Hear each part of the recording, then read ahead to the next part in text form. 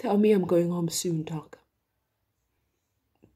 Tell me that this is the last month I'm being trapped in this place. Listen, listen, no, listen. I'm not crazy. Okay? No, I'm not crazy. Right? I know what I did was wrong. Okay? I know what I did was wrong.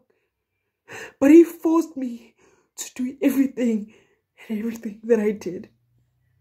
When nobody wanted him, when nobody wanted anything to do with him, I was the one there for him.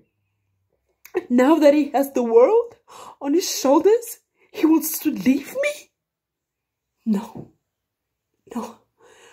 Not with everything that I've invested in him. No, he's not. No.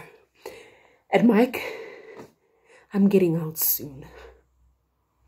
And boy, I'm coming for you with everything and everything I've got.